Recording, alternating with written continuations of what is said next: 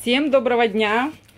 Ну вот, наконец-то мы дошли до забоя наших несушек, которые уже гуляют на пастбище 2-3 года. Вот такая красота получается. Это уже второй забой. Э, первый забой полностью мы вывезли в Краснодар, около 80 несушек. И всем очень-очень понравилось. Э, Майкоп только сейчас получит, а краснодарцы уже э, хотят новую партию. Среднем курочка получается где-то 900 грамм, а, килограмм 100, килограмм 200. Это вот прям редко. То есть вот так в основном. До килограмма, либо чуть больше килограмма. Вот они вот такие получаются.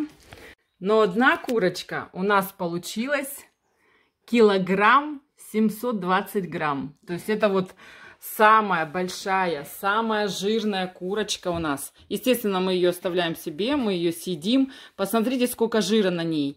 Э, предположительно, это та курочка, которая, которая уже длительное время не несется, э, живет в свое удовольствие получает счастье. Вот. Э, и эта курочка, скорее всего, 2019 года, 2019 года. Самая наша первая стая, которая которых было 45 штучек. Вот. Ну, она вот, походу, единственная ну, осталась. У нее еще жировые отложения, то есть даже здесь на шее, на шее, везде по телу, вот это вот то, что просвечивается желтым цветом, это очень толстый слой жира. То есть вот здесь вот можно увидеть, а, там, ну, сейчас уже она подзастывшая немножко после охлаждения, там где-то 2,5-3 сантиметра толстый такой слой жира, прям вообще он такой желтый, насыщенный. Вот, и сегодня у нас у всей команды будет праздничный ужин.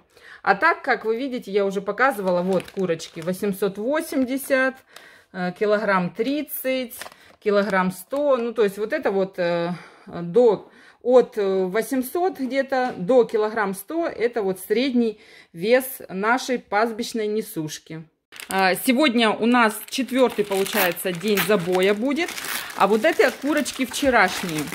Э, после того, как мы их э, делаем забой, э, разделку, помывку, дальше мы кладем их в холодильник на 0-2 градуса на охлаждение. 8 часов, 12-15. Вот, сейчас вот мы с охлаждения их вытаскиваем, кладем в пакеты, взвешиваем. Ну, это наша пометка курица. Взвешиваем, так обычно, стоимость пишем сразу и кладем в морозилку. Вот, складываем в морозилку, морозильную камеру. И вот здесь они дальше уже э, при 18-20 градусах где-то, минус, естественно, замораживаются. И потом мы их э, отвозим в термобоксах с холодовыми элементами в город очень, э, ну, скажем так, на 10-12 часов э, хватает э, термобоксов и холодовых элементов. Ну, мы, естественно, за меньшее количество времени довозим. И в данном случае это не яйца, поэтому люди должны забирать сразу. Вот, ну, вот здесь вот со стоимостью, как я говорила. То есть вес и стоимость. Вот. А те курочки, которые нам по той или иной причине не приглянулись, ну, их не так много, вот э, во вчерашнем забое их э, три штучки. Э, они не приглянулись, мы их оставляем себе, своей команде. Вот такой вот термобокс у нас. Вот он получается. На сколько литров? Сейчас не вспомню. Ну, не вспомню. 40 точно. Вот. И сюда помещается где-то 15 16 максимум мы ну, как бы укладывали курочек, э, не сушек, это не сушек, не бройлеров, бройлеры в два раза больше. И потом здесь закладываем холодовыми элементами, закрываем, и все, и очень благополучно все это доезжает до города, и до Майкопа, и до Краснодара. Ну вот она, в мультиварке та курочка, которая 1,7 килограмм. Э, мы ее положили без воды, просто с приправами, с луком. И вот посмотрите, она 4 часа готовилась. Вот это вот все, это жир. Жир растопился. Вкуснота. М -м -м. Пока микромодуль забоя у нас еще не заработал в полную силу, потому что туда еще нужно провести электричество, пробурить скважину, э, чтобы полноценно все работало.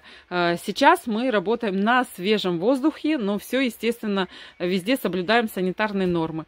Это у нас э, рабочие места, но сюда курочка сперва не приходит. Сначала в конусах мы отрезаем ей голову, кровь стекает, затем курочка попадает в шпарчан. Вот, шпарчан здесь находится с водой. Вода нагревается до 60 градусов. Сюда курицу э, опускают несколько раз, чтобы э, зашел воздух в перья.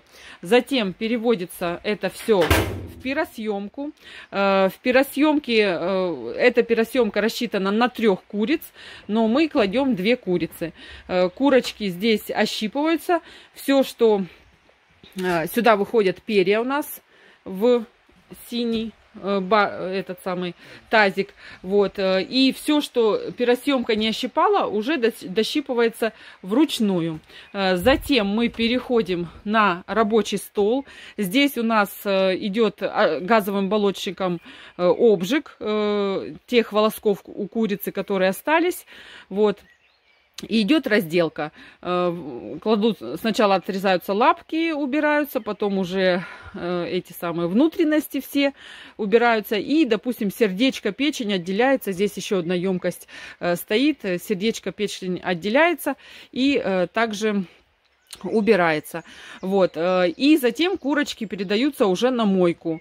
Моем мы в дождевой холодной воде. Если вода, допустим, не холодная, кладем специально туда охлажденные э, элементы, чтобы она была максимально холодная. Все это тщательным образом промывается, курочка стекает, э, обсыхает и э, буквально вот это все происходит в течение 20, максимум 30 минут.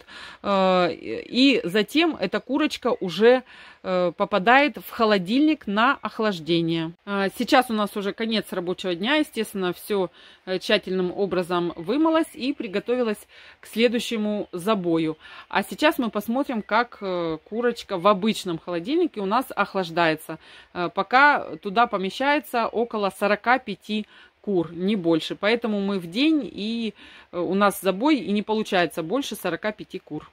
После того, как куры были вымыты тщательно в дождевой воде, почему в дождевой воде? Потому что дождевая у нас вода, наверное, самая чистая здесь. Есть еще э, горная река, ручеек, но сейчас э, э, речушка достаточно после осадков, ну, с примесью глины, песка, в общем, мы ей не пользуемся для помывки кур. Вот, курочки были вымыты, стекли, чай, прому, ну, просушили мы их тряпочкой и вот так вот уложили на салфетки. На салфетки положили. Завтра спустя ночь мы будем их уже, то, что вы видели в самом начале видео, упаковывать, взвешивать и укладывать в холодильник, в морозильник точнее. Вот. А на какой стадии сейчас у нас находится микромодуль забоя, сейчас мы посмотрим. Уже темно, рабочий день завершен, но фонариком на лбу покажу вам а, микромодуль забоя, в каком состоянии он сейчас. То есть э, вот здесь у нас э, такая раздевалка будет. Вот. Э, здесь человек заходит, переодевается. Несколько человек, потому что забой идет командой. Вот. Здесь у нас будет стоять ведро или тазик с раствором. Это как дисбарьер получается. Сюда мы наступаем и заходим в грязную зону. Вот. А, первое, что делается, это курочки у нас, так, закрыто, э, забиваются на той площадке. Вот если видно, вон бетонная площадка, там стоят конусы. Э, курочки там э, вниз головой в конусе и голова отрезается. Кровь стекает, потом человек, который там открывает окно и передает курочки сюда, курочек сюда.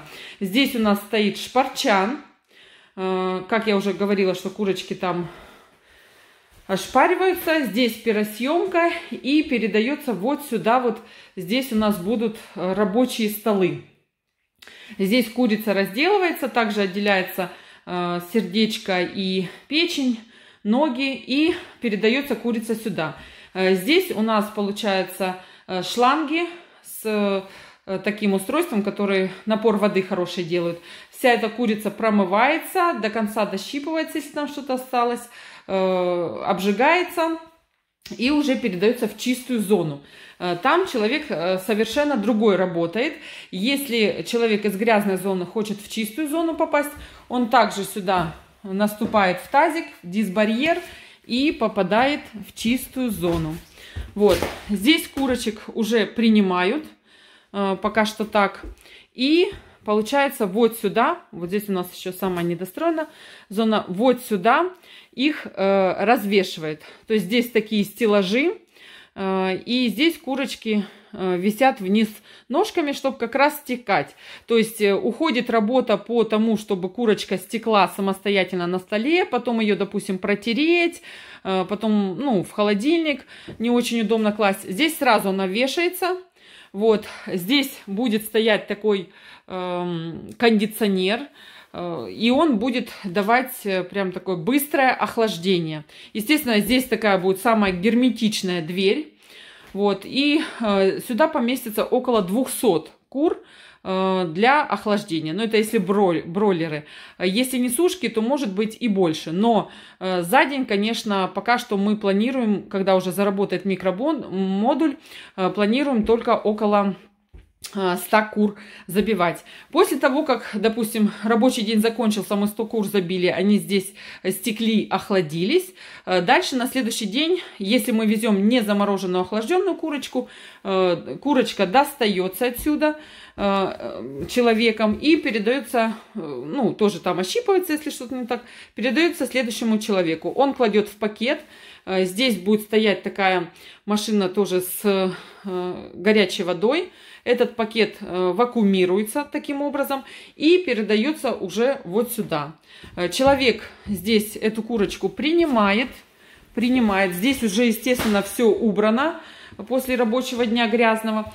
Принимает, обтирает пакет насухо, если пакет мокрый, взвешивает ее курицу и охлажденную кладет в термобокс с холодовыми элементами. Вот так вот получается полный цикл э, забоя. Если э, всех кур которые охладились, мы не вывозим за раз, значит остаток уже идет в морозильную камеру э, после охлаждения и замораживается.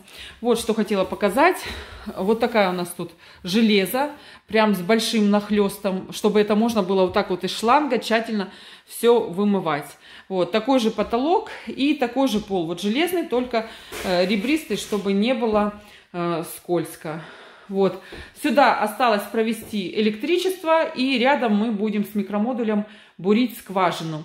Вот. Электричество, правда, не то, что внутри вагончика нужно сделать, его прям нужно подземным методом довести сюда. Это около, ну, наверное, 70-100 метров, а, смотря по какой а, дороге мы будем вести. Вот, э, проводим электричество, здесь разводку делаем, естественно, закончим столы, Э, шланги, вот, и дверь, э, поставим э, охладитель, и все, микромодуль забоя будет работать.